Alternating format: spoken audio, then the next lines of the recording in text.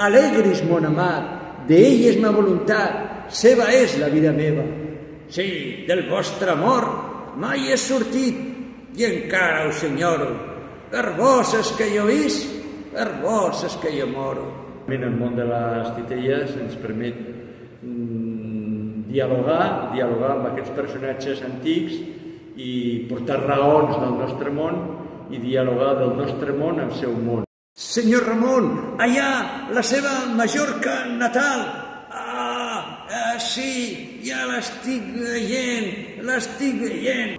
Ja nosaltres descrivim aquesta obra, l'últim viatge seu, que és una vegada que el recullen de, de mig mort i el porten cap a la seva Mallorca natal.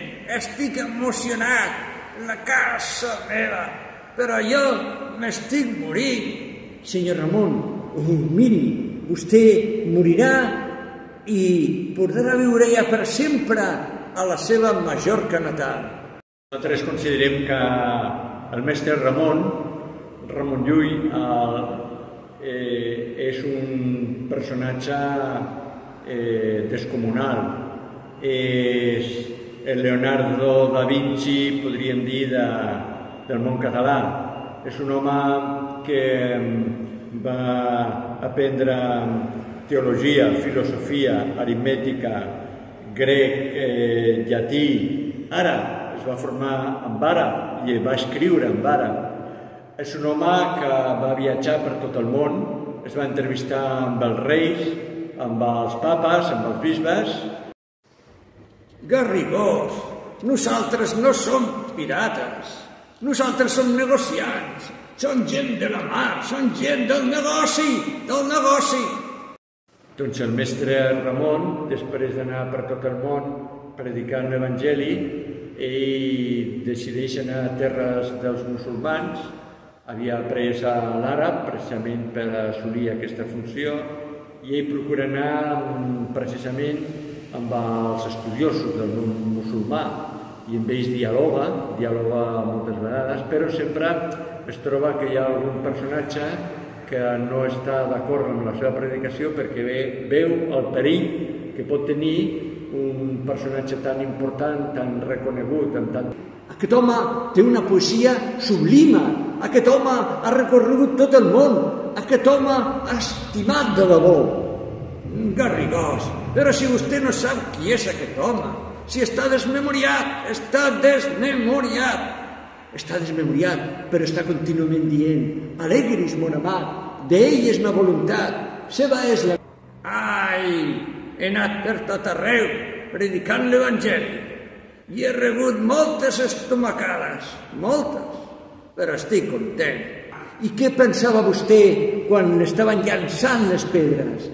Jo deia, tirau-me pedres, tirau, tirau tot lo sant dia, tireu sempre a ferir, quan més fort, més alegria. Oh, senyor Ramon, això és impressionant. Però quan vostè ja estava morint, què pensava? Jo deia, mort dolça del bon Jesús, oh, dolça i santa agonia. Pel món he anat 80 anys per veure si us trobaria. Finalment t'he trobat. Bé. El mestre Ramon, després de la seva conversió, eh, ja no volia fer de trobador. Ell ja no volia fer poesia, però la realitat és que va fer molta poesia i poesia molt bona, no? Has trigat prou vida mida. Yes.